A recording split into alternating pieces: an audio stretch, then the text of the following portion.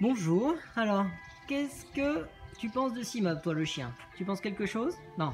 T'as un avis, mais tu veux rien dire. T'as mis tes lunettes, tu es secret. Voilà. Bon, bah, ah bah tiens, on a une cliente à côté. Alors, on va demander le point de vue à la cliente parce que le chien, il veut rien dire. Je vais demander s'il veut me souffler quelque chose. Oui, c'est ça. Qu'est-ce qu'il a dit Immeuble, pff, on y trouve notre bonheur. bon Ouais, Le bonheur de faire des bêtises dans le magasin, mais aussi de voir des choses magnifiques. d'accord. Les bêtises, c'est qu'avec votre mari, vous preniez des photos euh, sympas euh, euh, pendant que l'équipe a le dos tourné. Tout simplement, c'est Voilà. pour voir si vous surveillez vos clients et je vois que vous le faites. D'accord.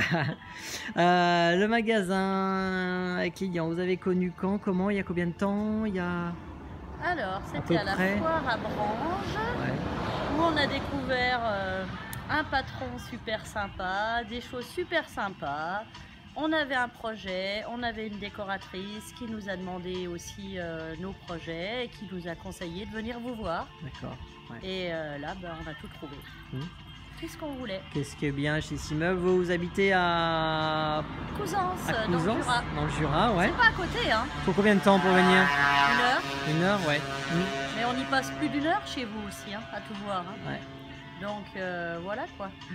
Quand, euh, ouais, le, le fait de dire une heure euh, à tout voir, c'est. Mais tout est à découvrir.